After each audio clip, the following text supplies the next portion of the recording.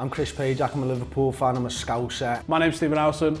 I'm a Manchester United fan because I'm Manchester born and bred. I hate Manchester United for many reasons, but honestly the biggest reason is that they're more successful than us. I hate Liverpool because I'm a human being. I've seen them through my lifetime um, overturn our, our trophy hall and that pisses me right off. This is the biggest game because it's the two most successful clubs.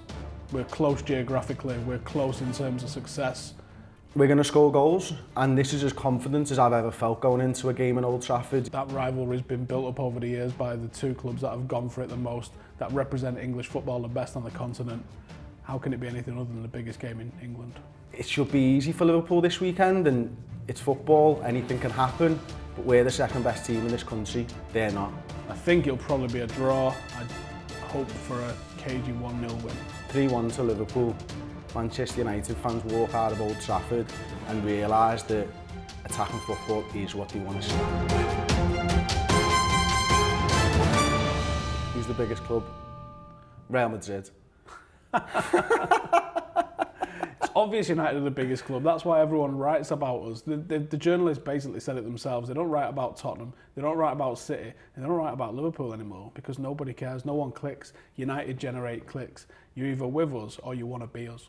United capitalised for me on a downtime in Liverpool and it happened at the right time for United, you know, the Premier League and all that type of stuff. But I think we'll look back 20, 30 years from now what Manchester United and Ferguson's legacy will be and the owners at the time, their legacy will be ruining English football. And I truly believe that because the globalisation, the, the single-mindedness that Manchester United pursue commercial opportunities has for me, change football and not for the better. And listen, I'm not saying Liverpool wouldn't have done that had the money been there at the time, but Manchester United are the ones that have driven that and people have had to keep, keep up with it. And, you know, youth football in this country isn't done right anymore. There's too much money not filtering down from these big clubs. And for me, that is because of what Manchester United did in the early 90s. And that and his 13 league titles will be Ferguson's legacy. That's absolutely mental. To put the commercialisation of football at the feet of Alex Ferguson. Alex Ferguson didn't spend 5 billion on Premier League TV rights, and Alex Ferguson didn't ruin the Premier League. Alex Ferguson created the Premier League. He made it interesting. If it had been Liverpool and Arsenal boring their ways through getting 1-0s here, there and everywhere and passing it back to the goalkeeper so he can roll it out to the centre half and then pass it back to the goalkeeper again, then the Premier League never would have happened. It happened because of the likes of Ryan Giggs. It happened because of the likes of Eric Cantona, and it happened because of the likes of Sir Alex Ferguson. And you mentioned youth football, but no one does youth football like Manchester United, as you know. But the difference is the money that's been filtering into these big clubs now hasn't filtered down to grassroots levels in England, and that, and that for me is a real, it's a massive it's it's just it's ridiculous you know Manchester United again I say it again that pursuit that single-mindedness and the way they pursued success and I'm, again I'm not saying that Liverpool wouldn't have done it but it has has had a major effect on English football. I think you're absolutely mental. I think what happened at City and Chelsea had a far more devastating effect on what's happening in English football than what's happened at Manchester United. What happened with the Premier League is a consequence of nothing except for what happened with the Premier League and what happened with Sky Sports and all the rest of it. You can't blame the the devaluing of what happens at youth football on Manchester United. That is absolutely ludicrous. I'm not blaming, listen, I'm, not, I'm not blaming it all on them, but I do think they've had a major hand so Alex that. Ferguson's legacy is going to be the most successful manager the world's seen. And listen, he was a good manager, and I'll give him that. And he did it for absolutely years. And I can't say anything otherwise. I'd be ridiculous to say anything otherwise. But it's how you've reacted to losing Ferguson, which I almost feel sorry for you because you can't see it yet and I've been through it and I've lived through it. You know, we won the FA Cup and I think it was 1992 against Sunderland and we thought winning a couple of trophies here there through the 90s was going to be enough to see us get back to league titles. That's what Manchester United aren't going to do under Mourinho and you don't see it coming and that's almost why I feel sorry for Man United fans right now. United have had our dip. We had Moyes. We managed to somehow survive. You won a league survive. title since Ferguson. Have you won a league title in colour? No. No, not in not in the Premier League, but right. that's why I'm in a good position to be able to sit here and tell you you can't see it coming because you think a League Cup and a Europa League is enough to get you back to no, winning we think league titles, and that's that isn't because Jose Mourinho path. will never win a league title with Manchester no. United. Jose Mourinho is one of the most successful managers in round in world football at the moment. This is a guy that's won a European Cup with Porto and he won a treble with Inter Milan, and you're saying that he can't win a domestic title in England? Again, with Manchester United. He's yes, the only man that's won back-to-back titles in England apart from Sir Alex Ferguson. He's you telling me this guy doesn't he's on know the what he's decline. to? He's he's becoming a dinosaur. You know, his best football was 12 years ago or something like that with Chelsea. He's not created the side. But he's got a better record He's at got- he's United not than created- Klopp's got at Liverpool in this current era. Listen, Jose Mourinho's walked into a game of Monopoly with Manchester United, right? And he's picked up Park Lane and Mayfair and he thinks he's a genius for putting a hotel on there, right? That's all he's doing with his transfers. His 90 million transfer Lukaku, his transfer for Pogba, all that type of stuff. He's walked in. Klopp started with Vine Street and Bow Street and Marlborough and all that on the oranges, mate. He's had to put a few houses on there. We've worked our way around to Trafalgar. We've just put a, our first house on Trafalgar. How, how Van Dijk. dare this, you sit there and say what? big transfers when you've just spent 75 million on Chris Smalling? Chris Smalling, we ripped Southampton off for Virgil van Dijk. He's been incredible since he's come in. People around the league are No, looking you at might and think he's been what incredible on earth is going on. Because you've been looking at Rice Krispies and Cocoa Pops at centre half. That's why you think he's incredible. Because he's a half decent Premier League footballer. That's what you've bought, and you've been rinsed for it. We have so you not. Can't talk about United being rinsed. time. United have got Lukaku and Paul Pogba for massive, massive money.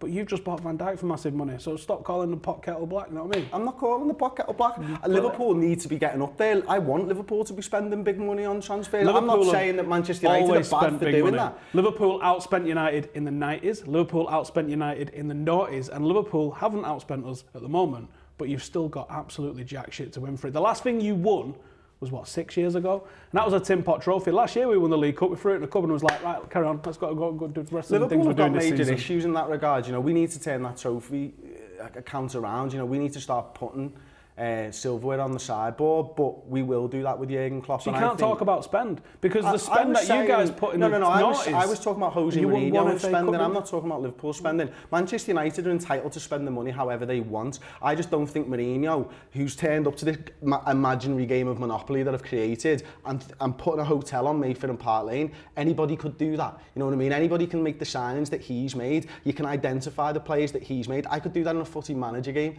you know what I mean? Jose Mourinho, he's walked off with Bobby Robson's notebook and he's been casting it around for 20 years and he's not made any changes to it. Football's moved on and it's leaving him behind. He, he hasn't added to that page since So why is, 2005, why is he winning trophies last season? That Because Klopp's he- not able to win he- with his revolutionary football. Because he, Klopp has won trophies with his revolutionary football. Not at Liverpool, he ain't. No, but he's getting there. And where we were Jose when Klopp Mourinho came has in, literally won everywhere he's been, including the 18 months he spent at United. He's got two trophies to show for it. Of course, and I So you can't say he's a dinosaur when he's winning things right now. When I we are could the win with those Manchester. I could win with that Manchester right. United team and the and the way that Louis the van winning Gaal. was ingrained in them. You know what I mean? And Jose Mourinho's come in and he's he created the culture which he does, and he gets results which he does. But now I think we'll find that the landscape's changed. I think we'll find that Manchester City are going to be difficult to topple for a few years. I think Liverpool will be their closest challenges. I think we'll see that come the end of the season when we finish above you, when we put you in your place on Saturday, and when you realise, as I say, when everyone walks out of that ground and go, yeah, not really a fan of this type of football. This is not what I want to see from Manchester United side. Manchester United side should be attacking Liverpool You lot, you day lot of the City, week. You've had a discernible style of play for about 18 months and you think you're the walking gift to how football should be played.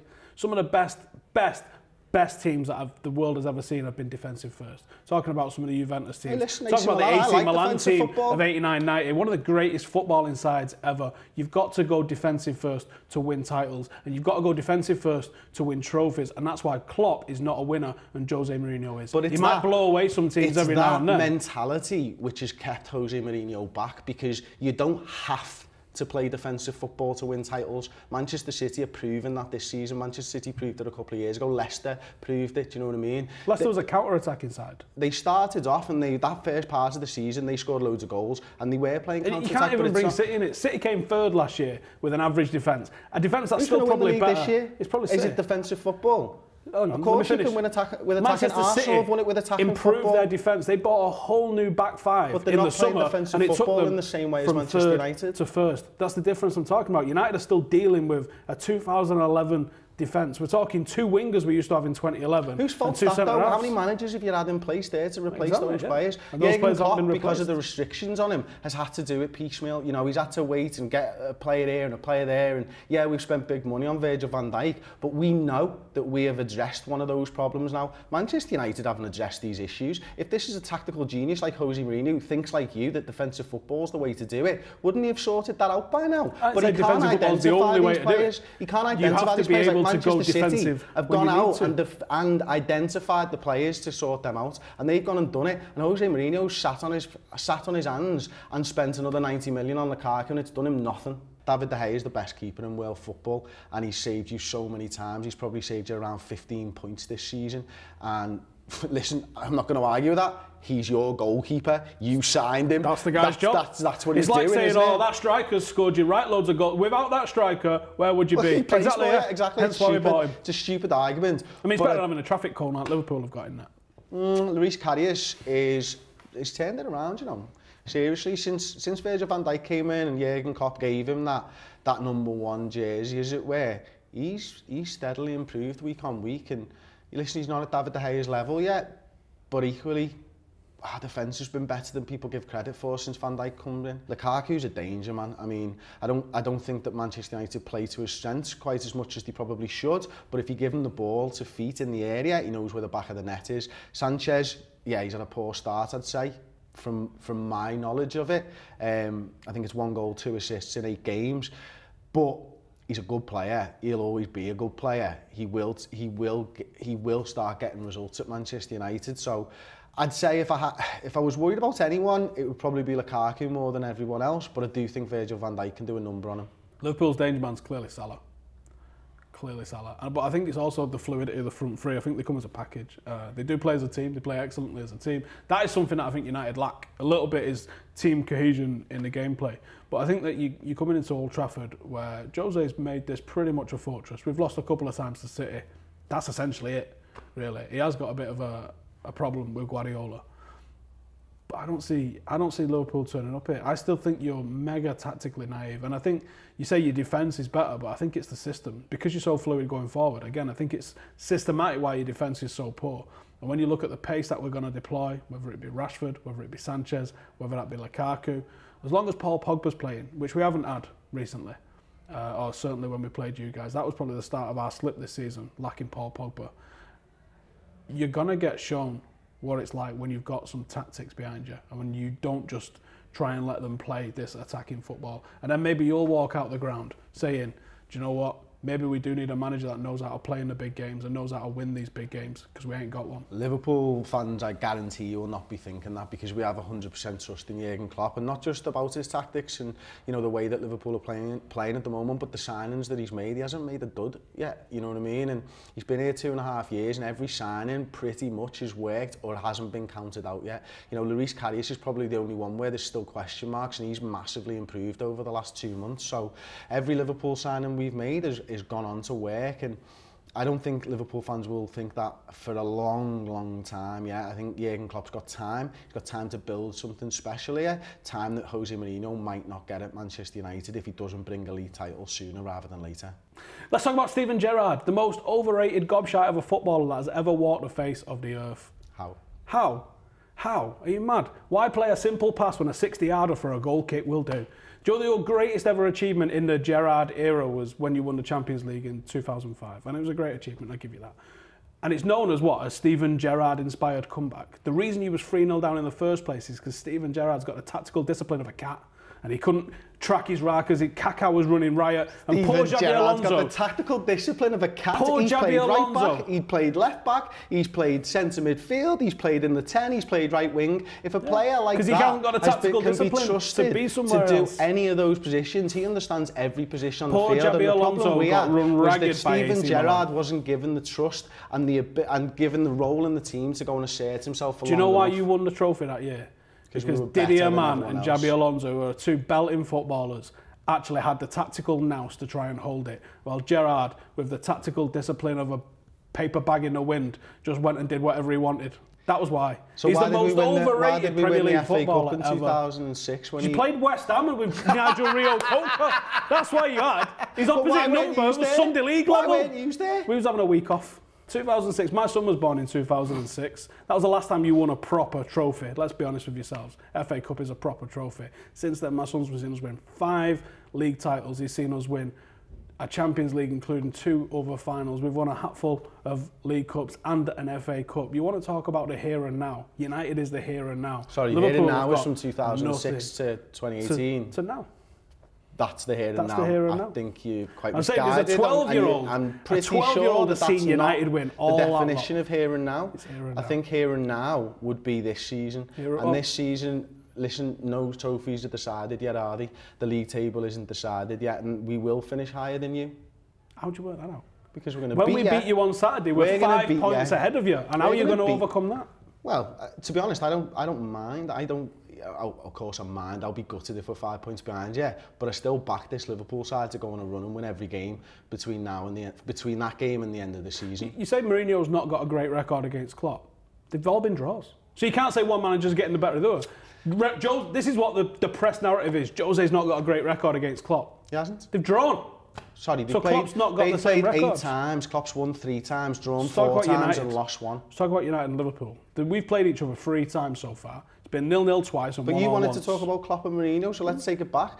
Eight games, three wins for Klopp, shit what four elsewhere. draws, one loss, and what the he's one loss here. was dead He's rubber done- when they were 4 three. up from the first leg It's- between Borussia Dortmund and Real Madrid, and yet that was the only time face. that he managed to beat Ask me if I care. I don't care. I only care about Manchester United. I don't care What about the what last five results between Liverpool and. Manchester United? What, when Louis van Gaal was here? What were the last five results? When Louis van Gaal was here? Include Louis van Gaal. Oh yeah, you beat us in the Europa League. And then you bottled it against Sevilla. So we've won you one, we've won once, and we've drawn four times. So there's So no, that was there's one no them clear Gaal. dominant team there, is there? Let's talk about what's going on right now in the league then, because United have got the second best record against the top six, which the press don't talk about. Hmm. You've won two out of all your games. One of them was a great win against City, and I'm glad you beat them. I really am. But you've only won one other game against the top 16. Why So does don't that tell matter that to us? Because you, you supposedly they've got this great record against The the, press top six. It's- the, but then that flies in the face of the press narrative against of us not being able to beat teams further down the league. We wouldn't be where we were if we were just able to be top six sides. So, all right, you can't go through a season like last season so where why we were are you saying that this attacking the... style, which I'm going to call tactically naive, of Klopp is the way to go? Because you're not winning the big games and you're not winning trophies. Jose Mourinho Because I enjoy winning watching trophies, football. winning big games. I enjoy watching football, Steve, and seriously, I would rather go and watch a Liverpool team any day of the week. When both teams might not win a trophy, I'll tell you what I'd prefer to go and spend my money on. I'll tell you what I'd prefer, and that's Jurgen Klopp's football, because Jose Mourinho is turgid football. You know, he used He's- to... this is a, this it- is again, bullshit For though. Chelsea in when we was 2004 to teams 2007... 4 0 at the start of the season, was that boring? I didn't find that boring. No, I but found it that pretty wasn't, good. but I bet the, the rest of the time's been pretty boring Are you telling since, me that hasn't you don't you go through times? You've drawn nine times. You can't call Jose Mourinho's team boring when you've drawn about as much as pissing Brighton off. We have scored the second most goals in the league, and we've scored the most goals in the Champions League. That is a side And that's you've got a exciting to defence watch. with holes all over the place. If you think We haven't. How if many you have think we it's conceded in the last five games? If you think that's exciting, are you five years old? No, I- That's this is match of the day highlight bullshit. That's not football. Football is what happens over the course of 90 minutes, over the course of a season. And if you're leaking as many as you are at the back, that's a consequence of how attacking you are going forward. Ultimately, all that Is it matters. about balance then? of course, it's about okay, balance. so who's got the better goal difference? It doesn't matter. We're higher than you in the table. For now. You don't get extra points. If you win 3 0 and we win 1 0, how many points do you get? You get the same, mate. Thank you. But my point is, we So are a would you- balanced side. Would much you more rather, balanced than people think. Would you rather because one Liverpool your way to the title, Liverpool, which you don't even know what it looks like, or would Of you course I do. I've rather? seen us win the league five times. Would you rather? I was born in 1982. Would you rather smash all of the, the league up for 30 games and then lose a load and ultimately not win the league? I'd rather win the league, and it, course doesn't, you would. and it doesn't matter how. course But if I had a choice between two sides that aren't guaranteed to win the title this season and aren't going to win the title, I tell you what I prefer to watch, and that's what I started the segment I'm, with. I'm Not aware about, that United are not this uh, all-conquering side. But I'm also adult enough to know that we're going through one of the hardest transitions that any club's ever had to go for. We had the greatest manager of all time there for over a quarter of a century. I then we got an absolute nugget in who didn't have a pissing clue what was going on, and he can't manage in Sunderland, he can't manage in Spain, and he definitely can't manage with what's going on at West Ham. The, guy, the job was too big for the guy. Then we got Lou van Gaal in, who was batshit crazy, and I loved him for it. But ultimately, his football was dire, and his football was bad. Jose's football is nowhere near as bad as what Louis van Gaal's was. Jose Mourinho is turning all of that around and he's taking United back to the top. He's moving too slowly, I think, for Manchester United fans. I think there has been an improvement, I agree with you. I think you've seen that year on year, just the points and stuff, and, and, and maybe even the goals that they've scored, probably more this season than last. But Jurgen Klopp's job was much harder. And every Liverpool manager's job since, what, late 1998, let's say, has been harder than what Jose Mourinho's walked into because this Liverpool side floundered for too long. This Liverpool team floundered for too long. So don't kid yourself and think Jose Mourinho's got the, uh, the hardest job in world football. He I say the hardest he job. really hasn't. I said this is a big job to turn around and it requires patience. That's what I think people need. It's been 18 months. That's all. That's all he's been here. In 18 months, delivered two trophies. 18 months. Seriously, listen, you've called the League Cup a tin Pot trophy yourself. The Europa League is not, and he's done incredibly well, and he will always get results, Jose Mourinho. But it, again, I go back to it. I could have said a treble if you wanted to get really silly, because he was calling it a treble last year when we won the Charity Shield. I don't no, count that. No. But do you know what I'm saying? We, we are picking things Listen, up. I, but again, I, I, I know what that feels like to go through. I've been there as a fan and I've thought, oh, we're still, we're, we're near enough. But it's league titles that matter. You know that yourself. Your Man United fans know that when they sing at us all the time. You know, everybody knows that it's those league what titles. I can't remember the words. It's uh, 20 times. Something like that, yeah, something like that. Um, and we'll sing a song back to you mentioning European Cups and stuff and fair play. That's the way that football banter's gone. But this Liverpool side is going to win a title again before Manchester United because we've got a better manager, we've got a better front three, we've got better players around the pitch, and we've got a team. We've got a team. So hang on. So if you've got the better team and the better manager, why are you below us in the table? Because the season's not finished. You know yourself that. You've won titles on the last day of the season. You know, and Manchester City have done exactly the same. Everybody knows the league's done when the 38 games have been played. And right now, 38 games haven't been played. And by the end of the season, we'll have proved it. Like we proved it last year that we were better than you.